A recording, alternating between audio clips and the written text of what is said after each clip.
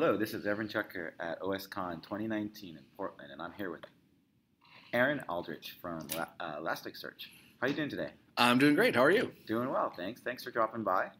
Yeah, Um, tell us a little bit about uh, you know your Elasticsearch and what you guys are showcasing at the conference. Yeah, so uh, Elastic is the company that is behind Elasticsearch, Logstash, Kibana, and Beats. Those are our primary open source projects. Um, Elasticsearch started as an open source project back in the day. It was, you know, our founders, one person, a repo on GitHub, and an IRC channel is how Elasticsearch started, and now, uh, you know, we're lucky enough to be a public company. So uh, we come to OSCON because open source is something that's dear to how we develop software. It's it's part of the community that we grew up in, uh, and you know, continue to show awareness for what cool new stuff we're doing. That's great. And so tell uh, tell our audience a little bit about what Elastic uh, and Elasticsearch provides. Yeah, absolutely. So, uh, at its core, Elasticsearch is for you know search. Uh, so a lot of companies use this just for that. So it's powering search engines for like Wikipedia, for instance, is using Elasticsearch uh, behind the scenes to do all their searching. Um, it also has been used for a lot of data analytics. So my my favorite customer to talk about is uh, NASA Jet Propulsion Laboratory, who until it stopped responding, the Mars rover was sending all of its telemetry data into the Elastic Stack at uh, NASA to do all the analysis on the data. Uh, as quickly as possible to you know it, it, takes 20 minutes to get data to mars so they have to make decisions you know fast enough that they don't fall off a cliff um, so it's been used for general data analysis. A lot of folks ship uh, system data into it, so they're using it, the classic ELK stack for log aggregation. Uh, some folks are sending you know system metrics or distributed tracing into our APM products, uh, and they get you know one platform with a common schema that they can search and analyze and compare data across their systems. So it's kind of anywhere you can put data in and want to get some meaning out, Elastic tends to show up somewhere and help people out. Awesome. What are some? Uh, what are some? Uh, I like the Mars use case. Uh, what are, Yeah, Can you tell us a, a little bit about some other common use cases? Yeah, um, I'm trying to think of what are the, the best ones to talk about. Uh, Uber actually is powered by Elasticsearch, so a lot of their backend like pairing of drivers to riders is it's a search problem, right? You're trying to find someone who can drive you to a place, and they're trying to find someone going where they're going. Um, so it's really interesting that it's always search somewhere in the back end, but what are you searching for? Um, yeah, I'm trying to think of another good use case uh, that we have. The University of Indiana is actually using it for a security platform. So they're collecting all their security metrics for whether it's system audit logs or um, you know like Zeek logs that might be collected in the security community, and they've built a whole uh, SIEM out of the Elasticsearch platform. So again, they're searching for some intruder or anomalous behavior in their system somewhere, and they chose Elasticsearch for that. So. Oh, that's really Yeah. fascinating, actually. Uh, all of those use cases are. Um, so, uh, how does uh, how does Elasticsearch uh, integrate with production systems? Are you guys uh, self-hosted solution, or are you available in a SaaS offering as well? Or The, the short answer is yes. Um, so it started out as the very classic, you know, downloadable package, installable binaries, that sort of thing. Um, so you can host it inside of your own infrastructure. You want to set up however you want, download the binaries, and run them yourself. Uh, we also have a cloud-hosted solution, Elasticsearch Service, which is exactly as if you were running Elasticsearch, but in a cloud. We manage all the infrastructure in the back end. Um, we have a couple um more specifically SaaS products rolling out. So there is just site search, which is like I want to add a search bar to my website. You can do that without having to have deep Elasticsearch knowledge now by rolling out the site search. Uh, and similarly with app search, if you're building some sort of application and need a search bar, app search kind of answers that question. Um, and the yeah, so cloud lives in whether you want to deploy on AWS or Google Cloud. Um, we've got partnerships with Azure as well, um, so you can deploy to any cloud that you want to.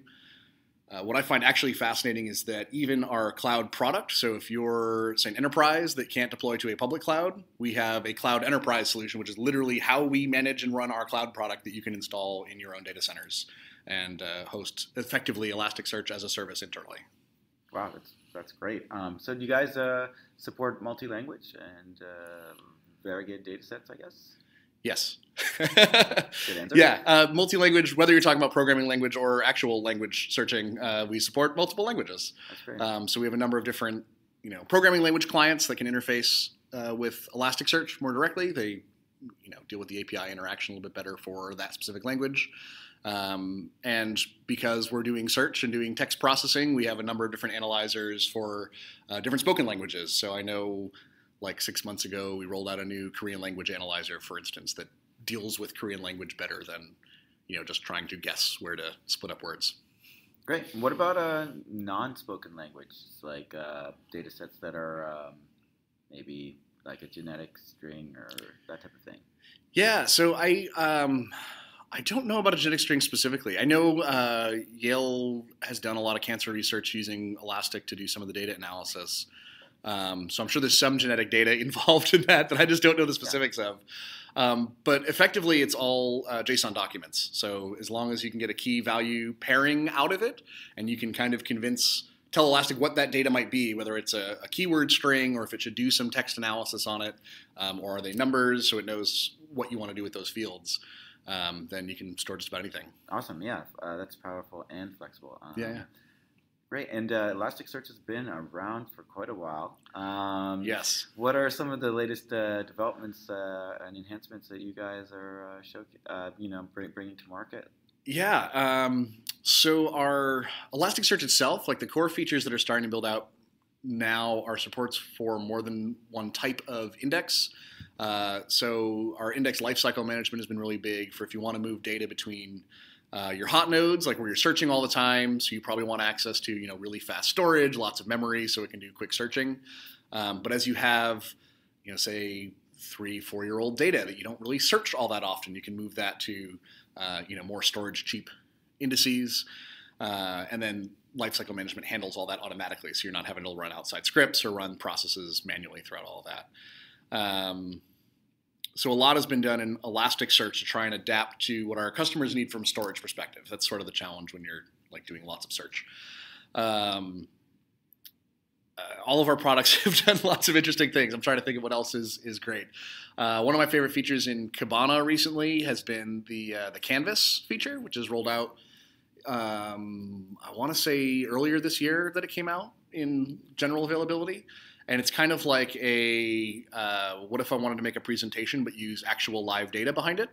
And so Kibana can make lots of. It already makes pretty pictures and graphs and things like that. But this one's like you can do some real graphic design in it and import that image and lay mark uh, text markdown languages on top of it, or your own custom graphs or whatever else. You know, infographic type stuff. That kind of like we need to present our data to C-suite and have them be compelled. Canvas is, is the way to do that. So Awesome. That's really cool. Well, hey, I look look forward to uh, hearing great news from you guys going going forward as well. And yeah. uh, thanks for joining us here. And uh, again, I'm here with Aaron Aldrich of Elastic and Elasticsearch. Yeah, no problem. Thanks for having me. Yeah. You know, I'm Sam issue here, but um, I was going to say, uh, yeah. So you're, uh, how long have you been over there? Uh, so I've been with Elastic a little over a year and a half. Okay. Yeah. yeah cool. And how do you like the develop developer advocate uh, role? Uh, it's great. It is uh, something I'm still learning to balance all the travel with being home, but uh, I really enjoy it. I enjoy the human aspect of all the technology. I mean, that's what I'm drawn to open source is the mm-hmm. communities that get created around it. And um, so I really enjoy the fact I get to meet new people, talk about Elastic, talk about whatever else they're doing. Uh, I really enjoy finding out new use cases and talking yeah. to folks that are like, oh yeah, we uh, actually met someone here who was like, yeah, for my high school project, I built a little solar panel and like fed the data into Elasticsearch so we could do like experimentation on, you know, what happens during the day. Like we can watch it go up and it dips at this time every day. Like it turns out there's a flagpole that covers the solar. It was really interesting.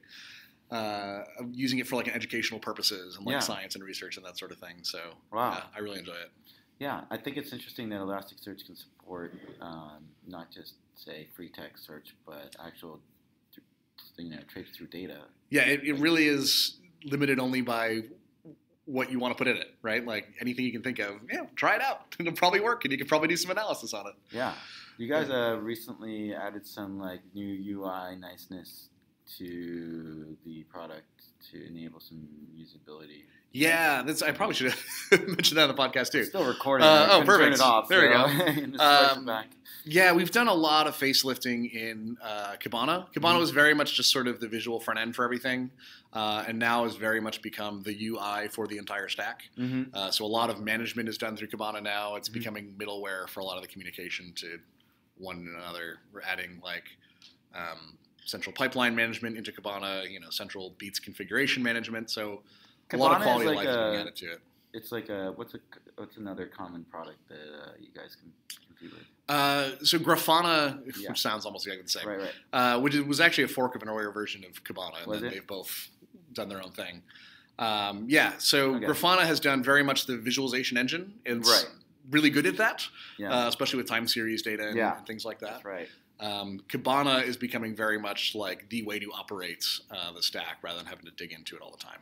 Okay. you can like actually go through the UI. Right. Um, includes a lot of quality of life things like Yeah. actual stock man- monitoring and like how is my cluster doing, and you can check there. So yeah, Has it been? Is it? Is it?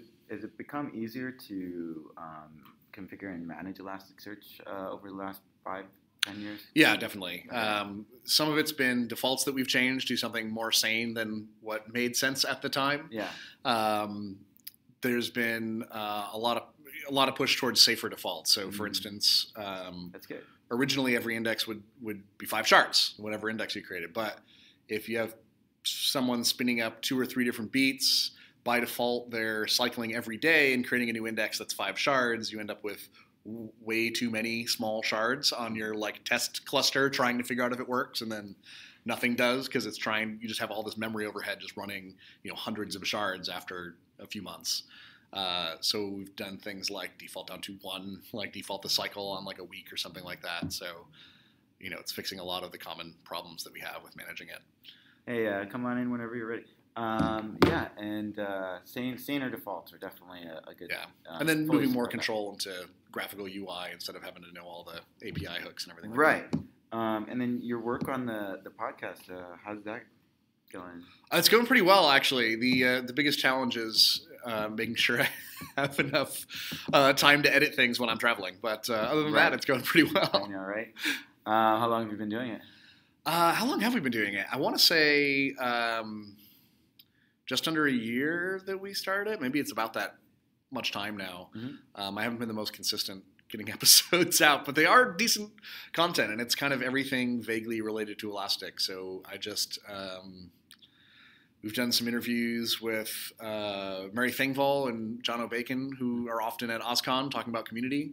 Um, we've done some other interviews with internal Elastic folks talking about new features that we have coming out, and uh, just recently interviewed with um, Molly Struve, who uh, just recently put out like a dev.to uh, blog article about how they improved their on-call cycle and put their devs on call and made it not horrible. So yeah, it's been That's cool. a mix of content, all vaguely related to Elastic. I just piloted a, the first uh, show, uh, new show for, on blockchain. Uh, Oh, nice. Past week. Uh, Yeah, yeah. So that's been fun. Has there been a lot of blockchain interest? Uh, well, I mean, there's that's kind of the issue is that there just is not the adoption isn't uh, Yeah, trying to get the word out using, you know, YouTube live streams out of Silicon Sure, Valley. It's right, probably yeah. not the best way to approach the adoption issue. Um, and so, you know, we're we're we're just taking it old school FM across the Midwest. Oh, and stuff. nice. Yeah. So yeah, yeah. Um, but uh, yeah, so it's fun. It's that's new for me. So Yeah, I'm that's cool. Developer who's just, you know, bumbling into. Do other, you, how do you end up places. getting FM broadcast? Is it Uh, yeah, I guess that there's folks out there who still know how to score the the the, the time. okay? Cool. Um, Bloor Group, you know, we do this. A lot of this stuff ends up in um, DM Radio and uh, Inside Analysis. Um, so, uh, you know, if uh, yeah, if you ever want to, you know, jump on with us, then uh, we'd be Yeah, happy cool. to host you, and um, either on the well, probably on the data side. Um, uh, unless you want, unless you want to gab about blockchain and help me explain it to the, the norm, to the normies. But uh, um, yeah, so uh, yeah, it's it's good. Connect, we should connect. Uh, yeah, for sure. Pick your, pick your brain on some stuff. Um, sometime. yeah, let me see. I probably have. Do I have a card left? I do. there you go. Awesome, man. Thanks, Aaron. Yeah, we'll definitely connect about it and, and see what's going on with that. I love it, community builder. Yeah, It's all about the people, man. it, it really is. It really is. Uh, thank you. That was great. Take care.